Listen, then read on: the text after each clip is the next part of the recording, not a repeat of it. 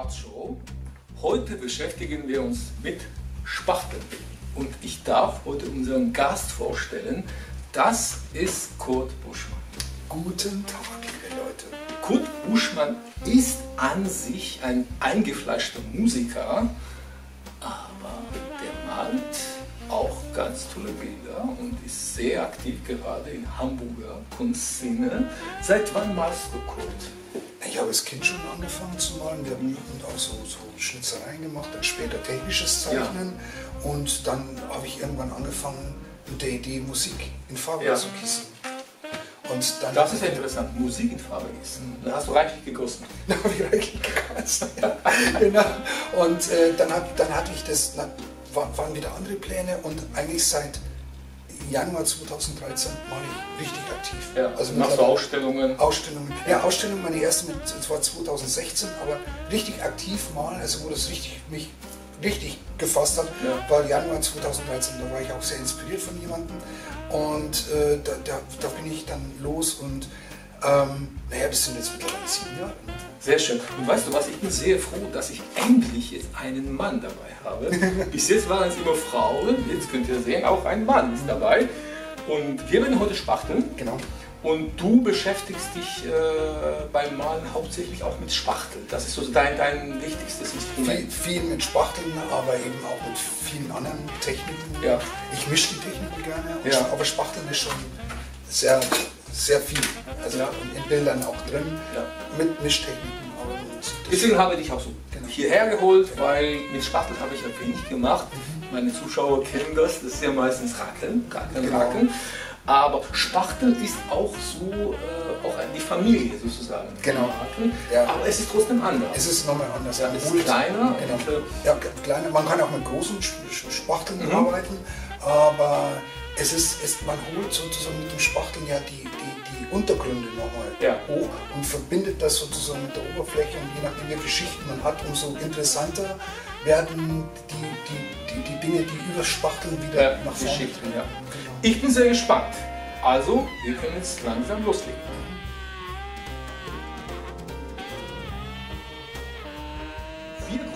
Als erstes, würde ich sagen, mhm. unsere Leinwand. Genau. Nee, Leinwand ist es nicht, das ist ja Papier. Papier. Aber es ist eine große Fläche und äh, äh, wir machen jetzt nicht eine Farbe, sondern mehrere Farben. Mehrere. Mhm. Genau. Und das wird uns als untere Schicht sozusagen. Genau, das erste ja. Schicht. Okay. Genau. Ich sehe gerade gelb irgendwas sagt mir, ich, ich soll mit gelb anfangen. Und ich, ich nehme blau. Okay, du nimmst blau. Das ist so witzig, weil das habe ich mir gedacht. Ja? ja, das ist okay. Okay. Also, wir fangen jetzt an. Ups.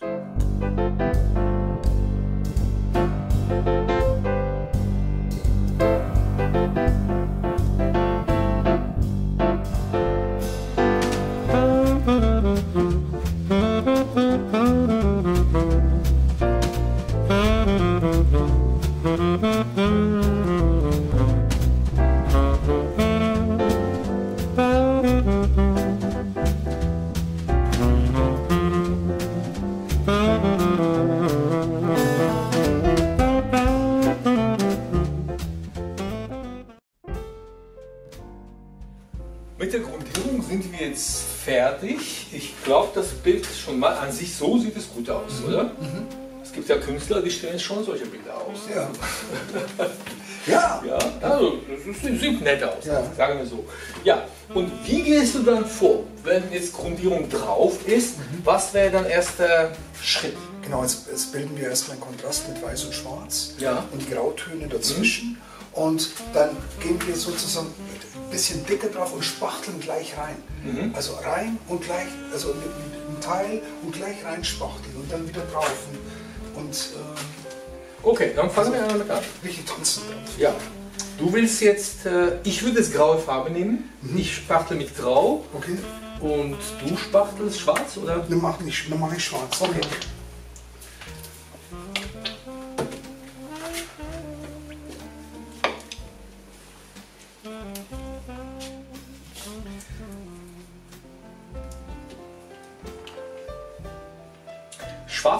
Farbe, wo sich so ganz. Äh, die meisten Menschen trauen sich nicht, sagen wir so, als Schwarz. Trauen sich weniger. Ne? Ja, ja. Und es ist auch äh, nicht einfach mit Schwarz umzugehen. Schwarz kann tatsächlich vieles äh, kaputt machen. Mit Schwarz muss man um, um, umzugehen. Ja. ja, ich habe jetzt wunderbares Grau. So, jetzt geht's los. Erste Spachtelbewegung. Ah, du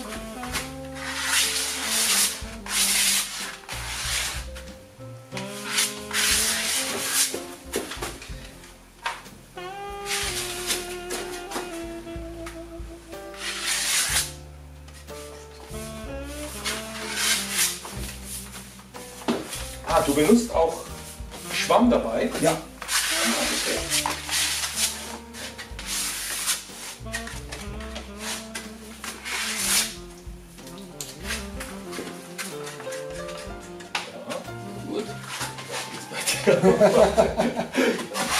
Scheint schon den schon.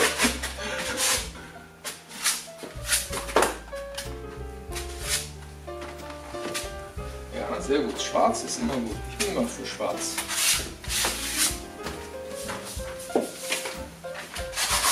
Ich brauche etwas Helles.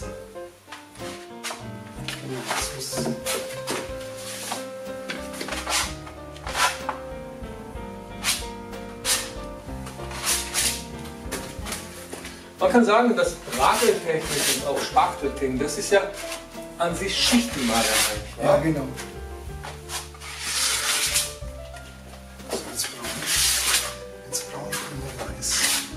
Ja, ich bin auch schon zum Weißen gestiegen.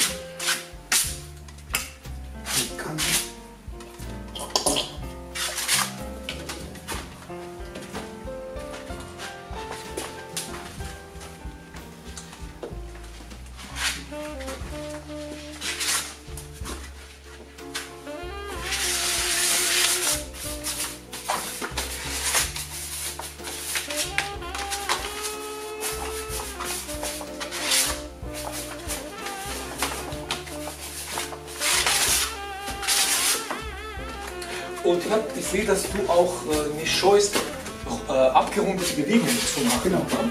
Weil mit Rakeltechnik ist es ein bisschen schwierig abzurunden, aber mit Spachtel geht. Ja.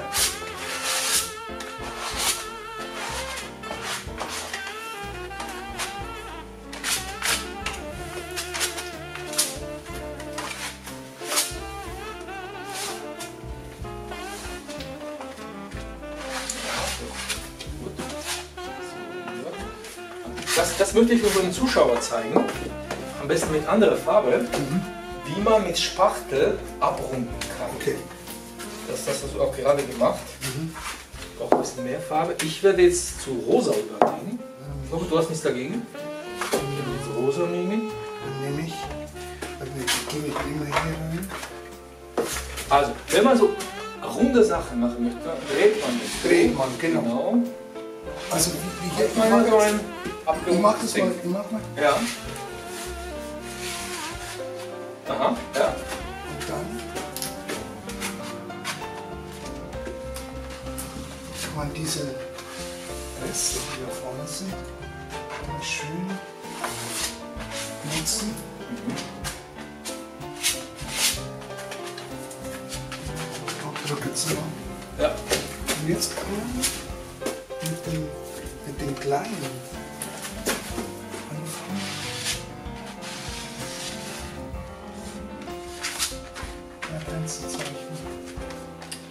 Weißt du, was ich mag? Ich mag das hier. Das ist was toll. Das ist so richtige Spachtel. Ja, Spachtel. Der, der ist kann man auch. Ja. Damit kann man so ganz gut ziehen und gut, gut steuern.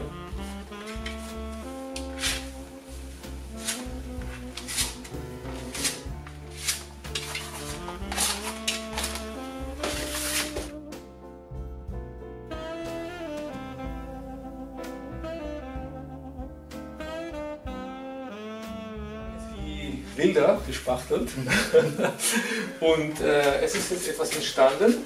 Äh, magst du das leiden, Kurt? Ist super. Also, Sieht aus, ne? Ja. Sehr, sehr expressiv. Ja.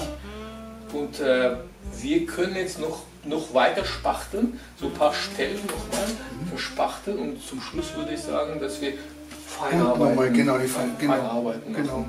Äh, arbeitest du mit äh, großen Formaten? Wie mhm. sind so deine Formate? Mhm. Also äh, äh, das ist, geht schon bis 1,20 mal 1,40 mhm. so.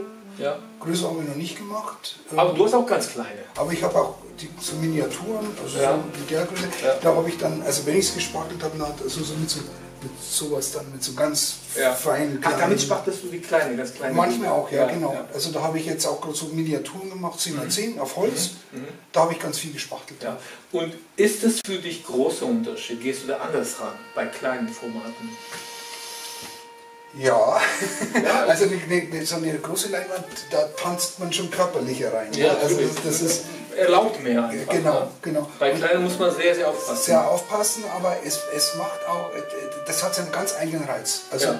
ich kann jetzt nicht sagen, das eine wäre besser oder schlechter, so ich, ich mag beides super, super gern. Ja. Also, ja, ja, ja, ich, ich, ich sehe bei dir, dass du beides sehr gerne machst. Und natürlich spielt bei Kurt Musik eine große Rolle. Und natürlich ohne Musik geht nicht. Mhm. Wir brauchen musikalische Themen heute. Hörst du Musik, wenn du malst? Deine eigene Musik? Äh, nee, also bei mir ist äußerlich Stille, weil ich in ja, so viel Musik ja, höre. Ja, du hörst ja sowieso. Aber wenn dieses Video läuft, werden wir im Hintergrund kurz Musik hören. Das wird sein, Kurt spielt gerne Saxophon und du bist seit den 70er in Hamburg, nicht wahr? Genau, ich bin äh, 5. Januar 79, ja. bin ich nach Hamburg. Aus? Aus zuerst aus München und dann. Er ist ein Bayer, ein richtiger genau. Bayer. und, äh, und Trostberg ist in der Nähe von Chiemsee, da bin ich bis ich 13 ja. aufgewachsen. Ja, ja, ja. Also wir sind welchen dazwischen, oder? Bayern und Hamburg? Wieso? Ja, ja, also ich bin ja nun auch viel gereist und es ist einfach so, dass ich mich einfach immer irgendwie sehr wohl gefühlt aus Hamburg natürlich. Ich bin eher, ich bin viel Ski gefahren, war in den Bergen, aber ich bin eher mhm. Wassermensch. Ich liebe ja, das, ja. wie ich zum ersten Mal in der Elbe war, habe ich gedacht, Hammer. Das, ja. das war schon. Ja, Hamburg, Hamburg vermittelt für mich sowas wie, als ob die Stadt am Meer liegt. Ja. Das hat ja so, die Elbe hat ja so Meeresfrische. Genau, ne? Durch die Schiffe auch, die reinkommen, wenn man an der Elbe spazieren geht, genau. äh, kriegt man auch sehr viele gute Ideen. Ja. Viele gute Ideen. Das sind meine, meine Spaziergänge sind ja meistens an der Elbe. Ich liebe das. Ja. Also da kann man wirklich Inspiration holen. Ja. Absolut. Und äh, bist du jetzt mehr musikalisch unterwegs, so mit den Menschen, oder mehr künstlerisch unterwegs? Mittlerweile ist es äh, ziemlich gleich. Ja. Also zurzeit bin ich in zwei Ausstellungen zu sehen, mhm. Einzelausstellungen, Gemeinschaftsausstellungen. Dann waren wir gerade auf einer Messe mit, dem, mit der Hamburger Kunstgalerie, zwei Tage. Ähm, also das langsam sozusagen gleicht sich die Kunst mhm. der Musik an. Wechseln wir die Seiten. Seiten, genau. Ich mache es jetzt da. Und ähm, ich würde jetzt noch mit hellen Farben reingehen. Genau. Du, du gehst mit schwarz wahrscheinlich. Genau. Okay. okay. Oder eine Mischung. Ich glaube, ich nehme ein genau. weiter ja. Mhm. und da gehe ich mit. Die nimmst du wieder. Die ne? nehme ich, genau. Das ist im Moment mein Lieblingsspachtel. Und ich werde etwas aufhellen.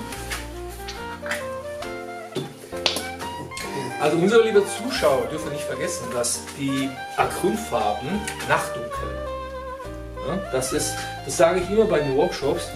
Dass man nicht zu dunkel. Ja, genau, weil hinterher, wenn die Farben anfangen zu trocknen, werden sie dunkel. Dann sind viele enttäuscht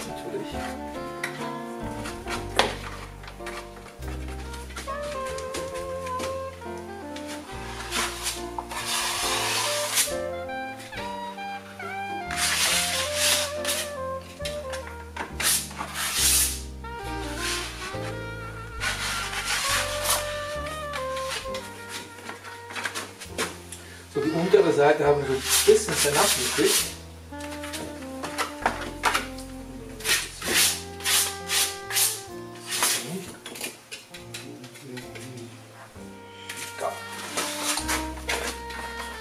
Manchmal tun sich so die Räume auf in den Bildern. Es geht darum, dass wir die Räume auch aufmachen. Ja. Betonen.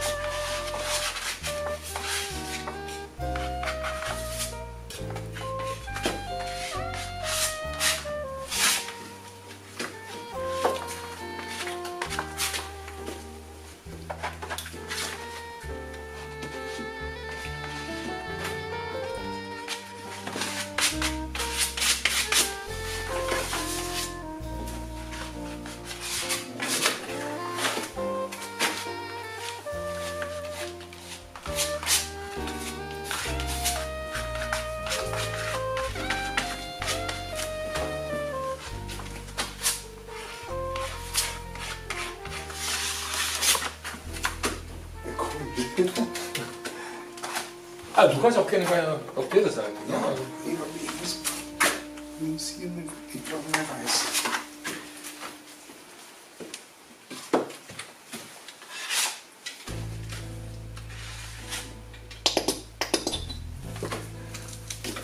Unterwegs hat mir Kurt einen interessanten Satz gesagt. Wie war das nochmal? Spachteln wie Wachteln? ja, genau. Weil Spachteln ist im Bayerischen auch Essen. Das heißt, wenn man sagt, Fischer, wir gehen jetzt Spachteln. Das ist Essen. Kann man sagen, Spachteln. Spachteln. Also wir gehen nach dem Spachteln wir Wachteln oder in die Spachteln gehen. Genau. Das machen wir noch. Wir spachteln Wachteln. wir spachteln Wachteln.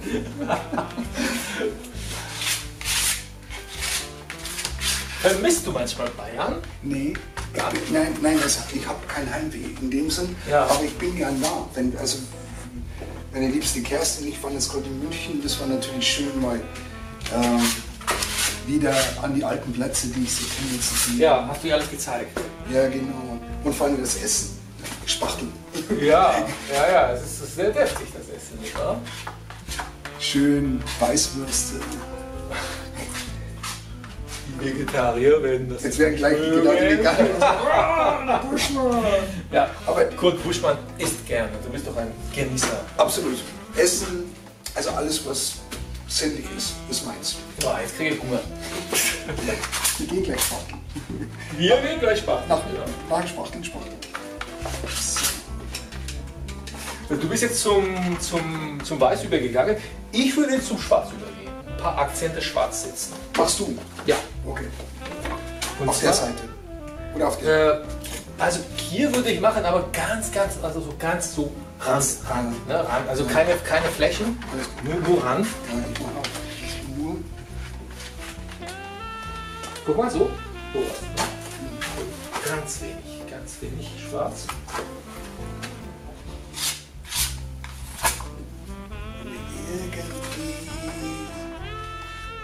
Das könnte man, da könnte man vielleicht auch schwarz oder weiß, weiß. Weiß, ne? So genau. was wie das, guck mal. Ja. Das ist hier so, so, so eine weiße Farbe. Macht sehr schön Kontrast. Schwarz und weiß liebe ich. Ich auch. Ihr werdet sagen, letztlich noch jetzt so monochrom gesagt, Ja. Ja, ich habe demnächst wo auch schwarz-weißen, also Workshop für schwarz-weiße ja, genau. Farbe zu geben. Da wird es nur schwarz-weiß geben, ja. nichts anderes. Ne? Und natürlich was dazwischen ist, grau. Ich bin sehr gespannt.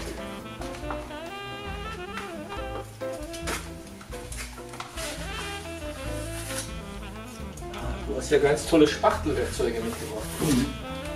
Ja, die haben sich so angesammelt. Ja. Das ist, kennst du ja selber nicht auf Ja, ja, klar. Ja, auch ganz viele Sachen. Ja. Die braucht man nicht immer, aber hin und wieder braucht man ja die. Bloß nichts wegschmeißen. Nee, bloß nicht. Also ich nehme auch mal ein Saxophonblättchen. Wenn es bei diesem kleinen Mini, der spachtel ich mit Echt? kaputten Saxophon. Habe ich sogar eins dabei, es liegt drin. Ja.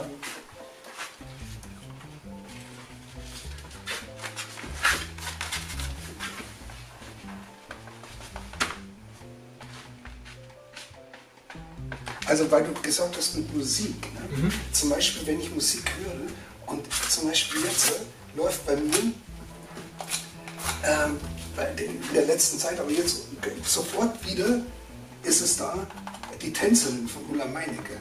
Mhm. Wie geht das nochmal? Du bist die Tänzerin im Sturm. Du bist das Kind auf dünnem Eis. Du schmeißt die Liebe muss Musik dabei sein.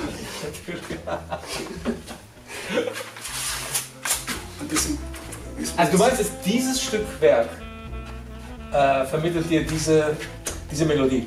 Das ist jetzt hier drin, meinst du? Ich, bin gerade, ich weiß gar nicht, was herkommt. War, war jetzt die Musik schon da oder ist es. Rhythmus auch. Ja, ja, irgendwie, irgendwie tanzt das schon alles. Da, da, da, das ist der Rhythmus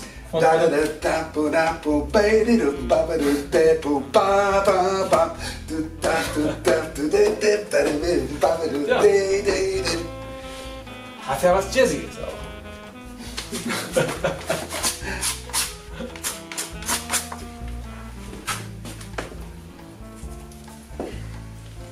Bist du im Jazz zu Hause?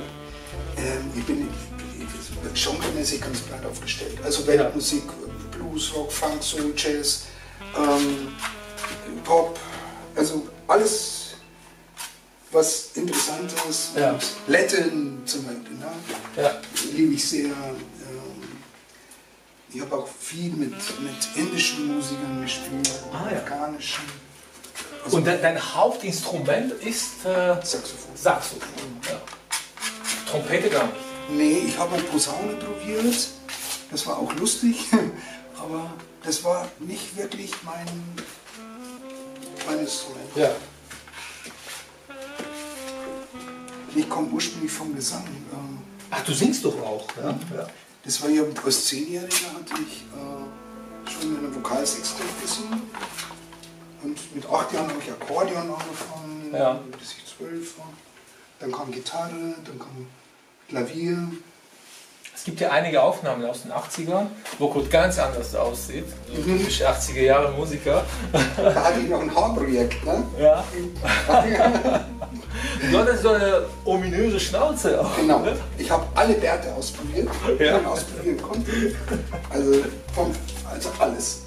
Und dieser ominöse. Damals hat man der Schnauze gerne gehalten. Ja, ja das war damals, gab es im Fernsehen Jason King den Privatdetektiv. Mhm. Und okay. viele, die ah. mit diesem Jason King-Bart. Ja, ja, ja, Das hatten viele auch in den 70ern. Ja, wenn man genau. die alte Aufnahme sieht. Und, und, dann mit Locken auch noch. Genau, genau.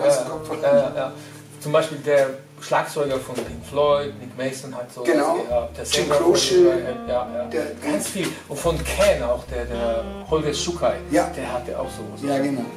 Sichelbart nennt man das, ne? Sichelbart, oder? Sichelbart? Ich habe gesagt Jason King Bart. Oh, okay. Aber wenn man heute sowas tragen würde, das geht gar nicht, oder? Das ist wie Fokuhila. ja, genau.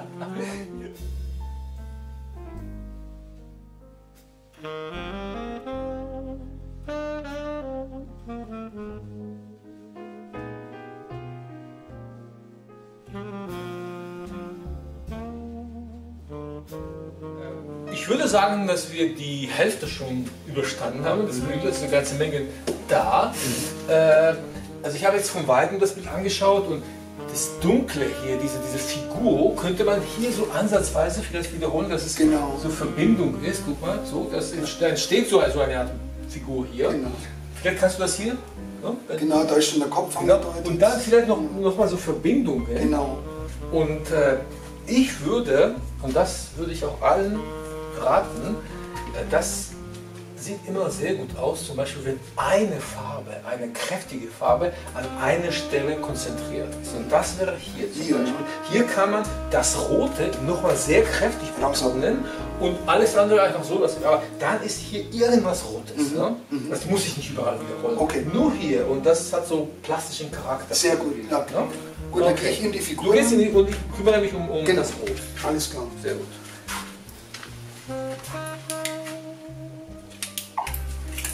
Ich arbeite jetzt schon mal mit dem Pinsel.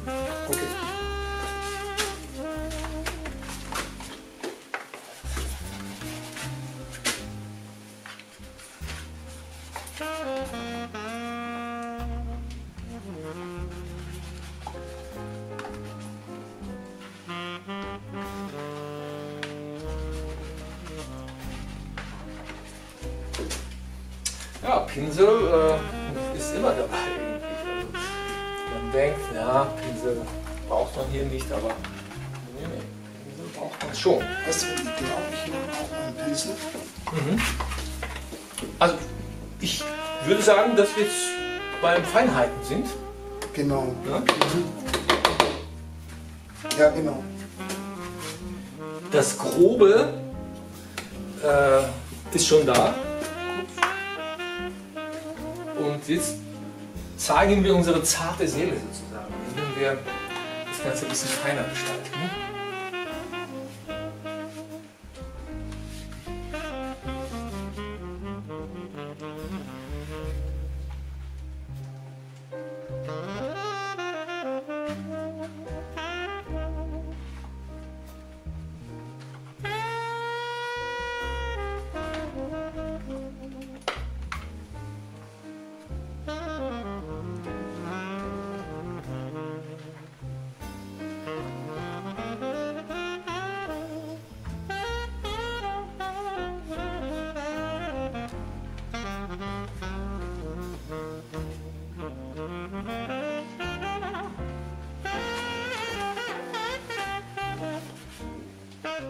Malst du oft mit den anderen zusammen? Ob du oft mit den anderen zusammen malst, so was wie, was wir jetzt gerade machen, so Gemeinschaftswerk. Ähm, ich habe das schon mal gemacht. Äh, ja. Kerstin und ich haben ja. schon mal sowas gemacht. Äh, und ich habe das früher äh, mal mit jemandem gemacht. Mhm. Auf einer Leinwand? Auf einer Leinwand. Also da haben wir immer Malpappen genommen damals. Dicke Malpappen. Ja.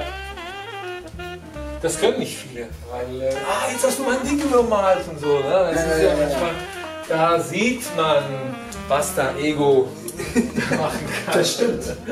Das stimmt wirklich. Also, da, da also ich habe auch mal äh, Leute gefragt, habt ihr Lust? Ne? Ja, ja. Haben gesagt, nee. Ja, ja, es ist nicht einfach. Das ist nicht einfach, weil ähm, manche haben auch tatsächlich Angst zu übermalen, was der andere gemalt hat. Ja. Und da entsteht so eine Art, äh, so, so, ist, man behindert sich gegenseitig. Ja. Und äh, natürlich, da, da, da, kann nichts werden beim Bild. Ja, ja. Ja, das ist. Äh, da muss man sich schon befreien. Also das ist, ja. also sowas zu machen einfach, das... Äh, du hast kein Problem damit, oder? Aber nein, das ist ja zum Beispiel, wir lassen auch Musik, äh, also mit Sven äh, van der Meers Session Circus, da machen wir nur solche Musik. Ja. Die gibt es nicht, die, ja. die entsteht in dem Moment. In dem Moment, ja. ja, ja. Man ergänzt einander. Ne? Ja, genau. So ist es beim Malen. Warum ist das nicht mehr? Das ist, für mich ist es sowas wie Jam Session. Ja, genau. Jam Session Ganz beim genau. Malen. Genau. Genau. Und, und hier den Mut zu haben, zu, auch zu sagen, es könnte ja in die Hose gehen. Das, das kann in die Hose gehen, aber, aber, aber, es, geht nie, es geht nie in die Hose. Es geht nie, ne? Ja. ja, es geht doch immer darum, wenn man zu große Erwartungen hat, ja. dann scheitert man meistens. Das ist ja in Musik so, das, das ist ja normalerweise so. Erwartungen dämpfen. Wenn man, immer wenn man denkt, man, muss, man will was richtig machen, ja. dann macht man es falsch. ja, ja, ja, leider. So, guck mal kurz, ich habe jetzt äh, angefangen, so vielleicht so Außenfarbton, Außenhauptton äh, reinzubringen. Das ist dann so eine Farbe. Ja, sehr schön. Ja, cool. Das, das kann man jetzt nur, ich kann oh, darüber, ja, darüber ziehen. Darüber, genau. genau. Und hier machst du noch ein paar Feinheiten, vielleicht genau. so schwarz oder weiß. Genau. Und ich komme damit dann zur Seite. Ja, okay, gut. Sehr schön. Ja, ich glaube, die Farbe ist sehr gut. Ja. Ich glaube, ich grenze hier noch ein bisschen. Klar, beim Malen es ist ja natürlich, kann man ja absprechen. Ich mache jetzt so, machst du so, aber bei Musik geht das nicht. Auf der Bühne kannst du nicht aufhören und sagen, spielst du jetzt das und ich spiele das. Das muss ja sehr schnell gehen. Man kann sich das mal zu, zurufen. So, das, ja, so, äh, man deutet schon. Ja. Und man gibt auch Zeichen. Hattest du schon mal so, wo es so nicht so geklappt hat, so Fälle? Ganz lange, ja. ja. Also Dass man einen nicht verstanden hat? Ja, da war ich eingeladen äh, mitzuspielen, aber die Band hat sozusagen die Titel nicht aufgemacht. Also das ist, und dann, die haben sie halt, es gibt dann eine Art des Musikmachens, wo man, das ist für mich kein Musikmachen, Titel einfach nur abspielen. Oh ja. Und da ist natürlich jegliche Kreativität dann mhm. weg. Ja, ja.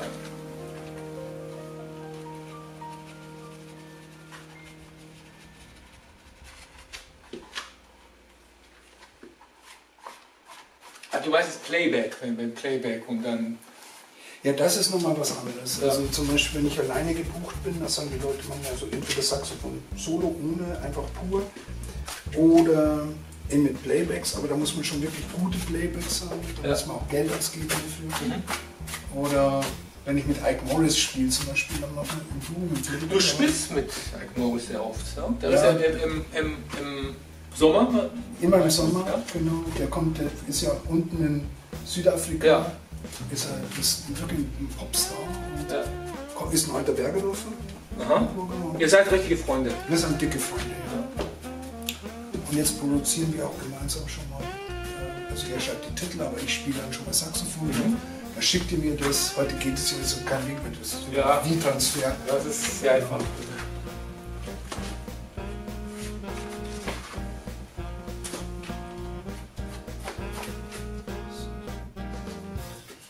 Lieber Kurt, ich glaube, wir nähern uns dem Ende. Wir haben jetzt das Bild nochmal angeschaut und das schaut schon mal sehr gut aus. Würdest du da was verändern nochmal? Ich würde das, das hier nochmal ein bisschen beruhigen, ja. ganz leicht machen. Mhm. Mhm. Mit Schwamm und ich würde eventuell da auch nochmal ein bisschen Beruhigung schaffen mit ja, Schwamm. Mit Schwamm, okay. genau, mit Schwamm jetzt rein, mhm. sodass man so merkt, so, dass es die Perspektiven ein bisschen verstärken kann. Okay, das heißt, der letzte Schritt wäre die Beruhigung mit genau. Schwamm. Ich würde auch gerne mit Schwamm arbeiten. Okay. okay. Dann, ähm, das ist sau sauberer, ne? Vielleicht noch ein bisschen sauberer.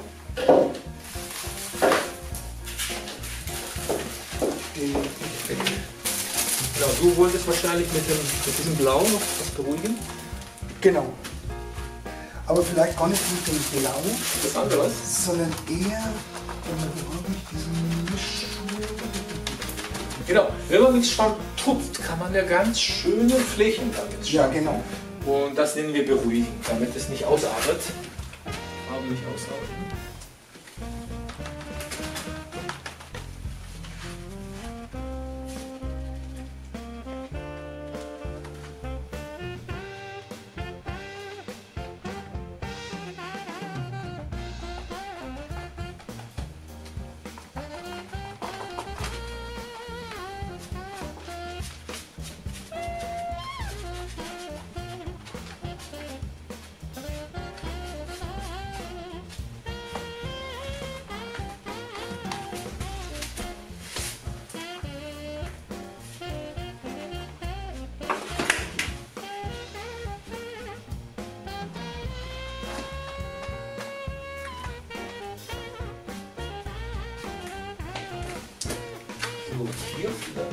Genau. genau.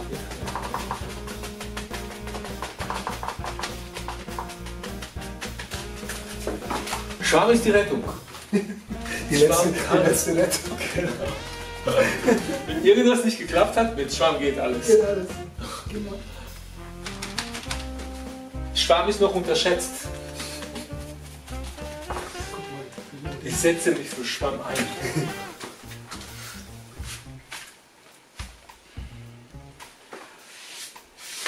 man weiß, es wird niemals schwammig. Ja.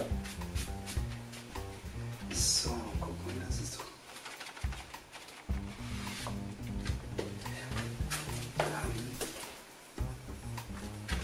Darf ich hier noch ein bisschen Farbe klauen? Aber selbstverständlich.